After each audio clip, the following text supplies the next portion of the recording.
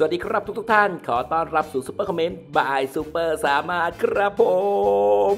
ต้องบอกว่าสุดยอดไปเลยครับฟุตซอลทีมชาติไทย ที่สามารถเรียกว่าสุดๆสามารถสุดๆครับ สามารถพลิกนรกเอาชนะอิรักไป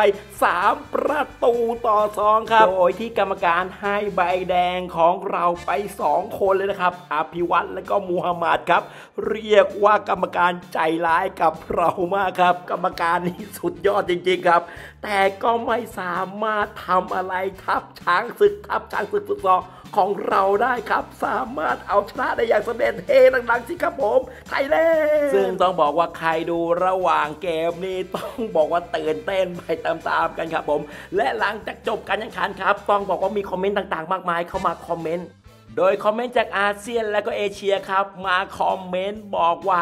บ้าไปแล้ว ทยโดนนำไป 2 ประตูต่อศูนย์แต่ยังพลิกกลับมาชนะได้ 3 ประตูต่อสองทั้งทางที่โดนใบแดงไปถึง 2 ตัว หัวใจของพวกเขานี่น่ากราบมาก โอ้โหบางคนครับจากเวียดนามบอกว่า DNA ของไทยสายพันธุ์ของไทยนี่ มันช่างสุดยอดเสียเกิน เป็นสายพันธุ์ต้นแบบของอาเซียนแม่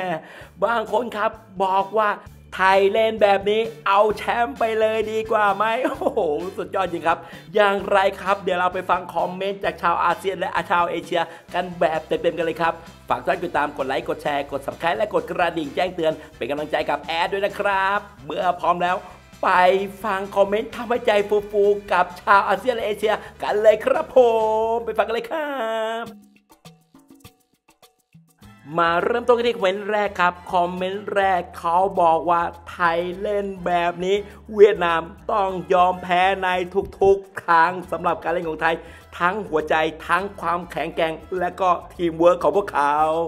คอมเมนต์ต่อมาเขาบอกว่าไทย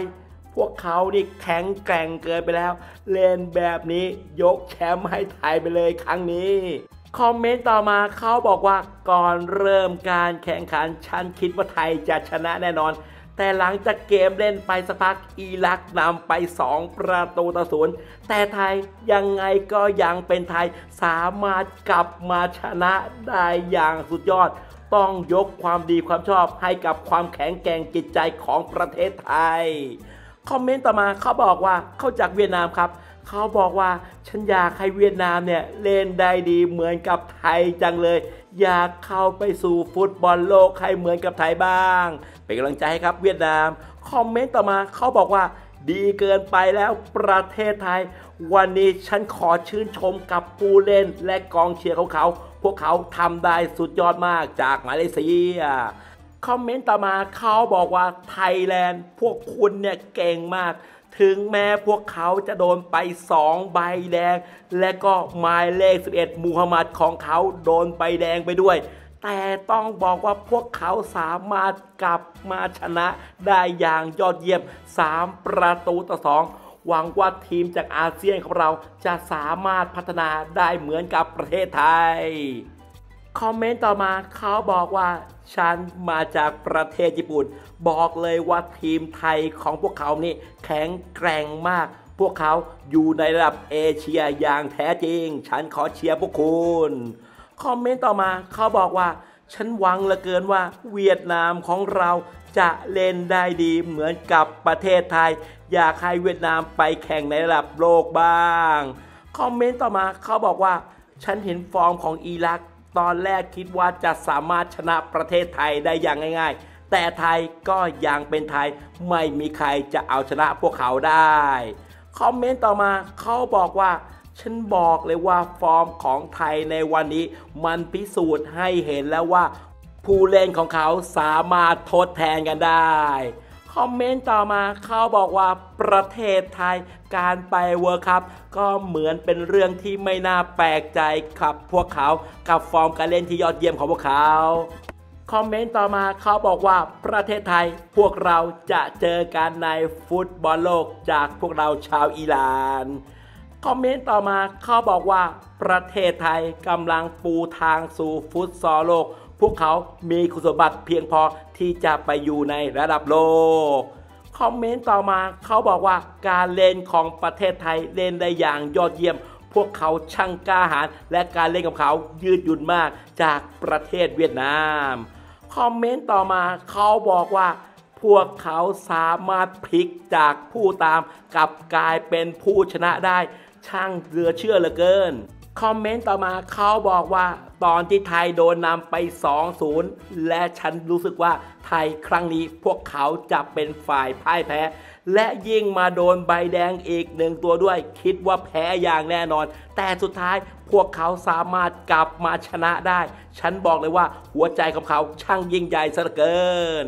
คอมเมนต์ต่อมาเขาบอกว่า ฉันรู้สึกดีใจกับไทย และภูมิใจกับประเทศไทย ที่เขาสามารถเอาชนะได้ จากพวกเราชาวอินโดนีเซีย คอมเมนต์ต่อมาเขาบอกว่า ไม่น่าเชื่อว่าไทยจะกลับมาชนะได้ พวกเขาพิสูจน์ให้เห็นแล้วว่า ฟุตซอลอาเซียนยอดเยี่ยมขนาดไหนคอมเมนต์ต่อมาเขาบอกว่าดีใจสุดๆ ที่ไทยสามารถเอาชนะได้ ฉันขอเป็นกำลังใจให้กับประเทศไทย จากมาเลเซีย คอมเมนต์ต่อมาเขาบอกว่า คิดว่าตอนแรกไทยจะสามารถเอาชนะอิรักได้อย่างสบายใจ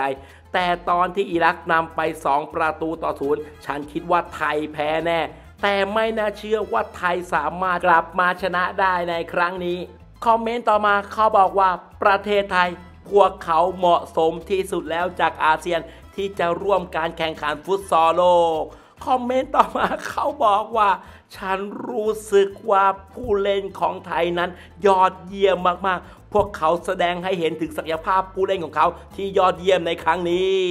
คอมเมนต์ต่อมาเขาบอกว่า ฉันไม่เข้าใจกรรมการเลยว่า ให้ใบแดงไทยได้อย่างไร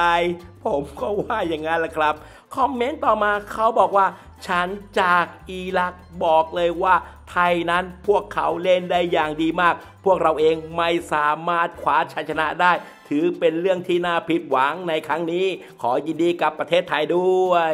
เรียบร้อยแล้วครับผม คอมเมนต์จากชาวอาเซียนและชาวเอเชียครับ ที่พูดถึงฟอร์มของผู้เล่นของไทย ถึงแม้จะโดนใบแดงไป 2 ตัวนะครับ ก็ยังสามารถกลับมาเอาชนะและคว้าชัยชนะได้แหมสุดยอดจริงๆครับทัพช้างศึกของเราฟุตซอลเราครับแหม หลังจากนี้แฟนๆ ชาวไทยต้องส่งกำลังใจกันต่อไปนะครับ ขอให้ทัพช้างศึกของเราคว้าแชมป์เลยนะครับ ตอนนี้ฟอร์มงนี้ขอให้คว้าแชมป์และก็คว้าชัยให้ได้นะครับผมฟุตซอลทีมชาติไทยขอเสียงเชียร์หน่อยครับผม ช้างศึกฟุตซอลไทยสู้ๆวันนี้แอดขอตัวลาไปก่อนครับผม สวัสดีครับผม สู้ต่อไปครับ